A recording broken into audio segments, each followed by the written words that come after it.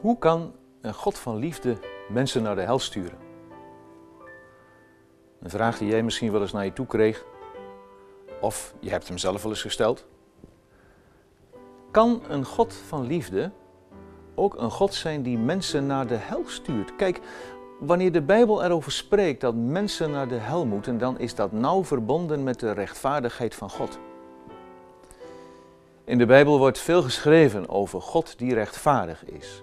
Ik lees een paar versen uit Romeinen 2, de versen 5 en 6.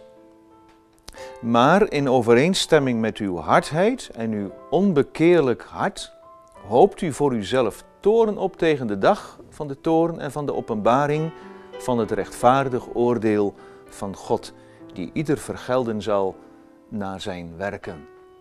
Hier lezen we in deze hoofdstukken dat geen mens onschuldig is. Paulus schrijft, jij die anderen oordeelt, zo gemakkelijk anderen beschuldigt, maar hoe sta je nou zelf tegenover God, die rechtvaardig is en rechtvaardig oordeelt? Kijk, er is veel onrechtvaardigheid in deze wereld. Maar God wordt in de Bijbel bekendgemaakt als rechtvaardig. Dat betekent dat God ten diepste al die onrechtvaardigheid niet kan verdragen. En we lezen dan dat hij daarover torent. God wordt er boos om, om al die onrechtvaardigheid. Kunnen we toch eigenlijk ook wel begrijpen? Dat is toch in het gewone dagelijkse leven ook zo? Ik heb mijn vrouw lief. En stel je voor dat er dan iemand is die haar vreselijk kwetst, die haar leven stuk maakt op een of andere manier, dan word ik daar toch boos om? Nou, en die boosheid zet mij aan tot handelen. Jij kijkt toch ook niet zomaar onverschillig van een afstand toe wanneer iemand die jou lief is stuk gemaakt wordt? Kijk naar God. Hij heeft de hemel en de aarde goed geschapen. Heeft de mens naar zijn evenbeeld gemaakt. Het was allemaal zo goed.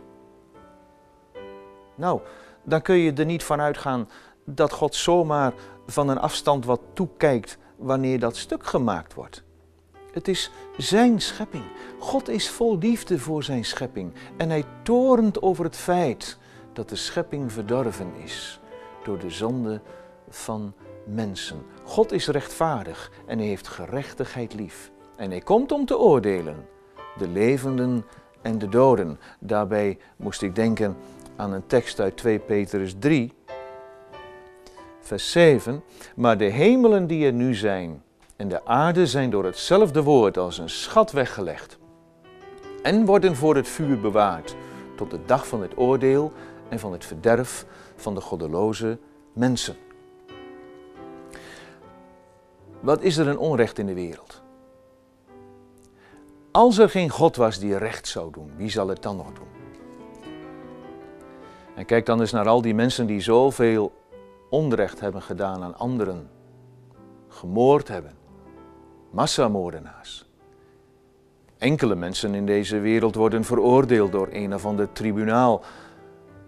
Maar al die anderen dan, wie zal hen oordelen? En er komt ook een eindoordeel waarin God oordeelt ook al die misdadigers, maar ook ons. Tim Keller zegt in een van zijn boeken: zou een God die zich niet druk maakt om het verschil tussen goed en kwaad, zou zo'n God nog een bewonderenswaardig wezen zijn? Denken wij dat God rustig al die Hitlers en Stalins en Osama Bin Ladens en die Assads hun gang laat gaan en daar nooit meer op terugkomt? Dat doet hij wel. En dat heeft te maken met zijn rechtvaardigheid. God die eenmaal het oordeel zal uitspreken. Stel, een God die de moordenaar van je kind toch zomaar een veilig plekje in de hemel geeft. Is dat een God van liefde? Kan een God van liefde nu mensen naar de hel sturen? Kan God niet gewoon vergeven? Nee, dat kan God niet. God zal ook niet zomaar vergeven, want God is rechtvaardig. Als jij nog dat beeld van God hebt als een God die uiteindelijk alles wel door de vingers ziet, dan moet je dat beeld toch heel snel wat bijstellen. Want dit is niet wat de Bijbel jou leert.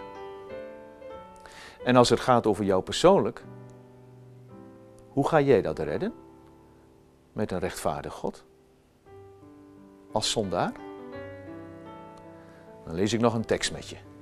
In Johannes 1, vers 9.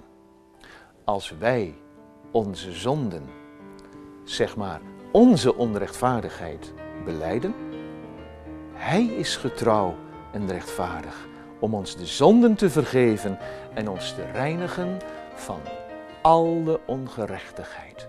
Als jij bij Jezus komt, als de rechtvaardige Zoon van God, om jouw zonden te beleiden, dan zal Hij vergeven.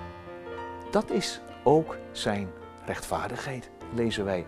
Zo bijzonder mooi. Dan is Hij zo rechtvaardig dat Hij er niet meer op terugkomt, dat er niet één zonde overblijft straks. Want zeker komt God oordelen, want Hij is rechtvaardig.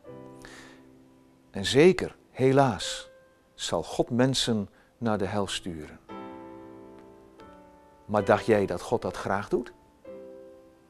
Hij gaf zelf zijn zoon om voor ons in de plaats te gaan staan. Jij hoeft niet naar de hel als je maar bij Jezus komt. Die rechtvaardigheid van God doet ons ook wel eens beven. Wanneer we tot Jezus vluchten, is Hij zo rechtvaardig dat Hij al onze zonden vergeeft. Ook die van jou. Allemaal.